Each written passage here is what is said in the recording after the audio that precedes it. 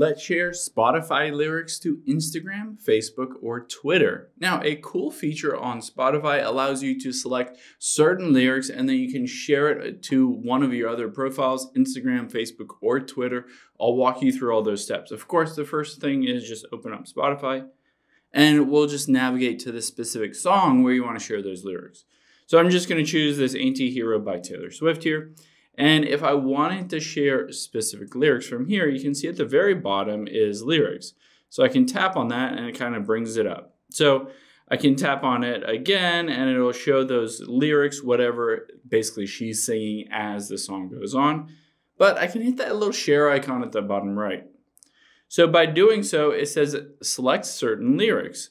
So I can basically scroll through here and find a you know, part of that song, the lyrics that I want to share. Now I've selected that and I can hit continue here.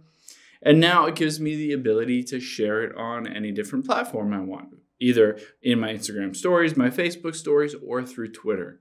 So let's tap on Facebook. Say I wanted to share it on my Facebook story. I can open that up and you can see now I can edit this and it'll have a little Spotify logo. Now anybody that sees this specific story can just tap on it. They'll be able to listen to that song on Spotify. They'll be able to go to Spotify. I can always, you know, tap that little sticker. I can tag people. I can add photos, uh, location, time, any of those things. Anything you would do with a normal story. And of course, you can do this on Facebook as well as Instagram, or you can just tweet it out as well. Hope this helps. If you have any questions on that, leave them in the comments down below, and I'll catch you on the next one.